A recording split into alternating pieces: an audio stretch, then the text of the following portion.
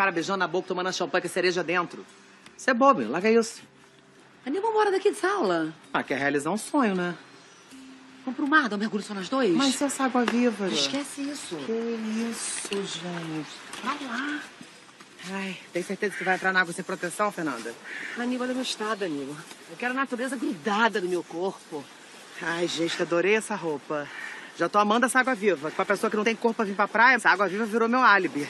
Só dá pra usar essa roupa aqui nessa praia que não tem ninguém, né, Aníbal? Por quê? Tá feio? Mas tá querendo girino, né? Que isso, gente? E os animais aquáticos aqui se alimentam de quê, Fernanda? Essa roupa vai me dar problema. Puta que...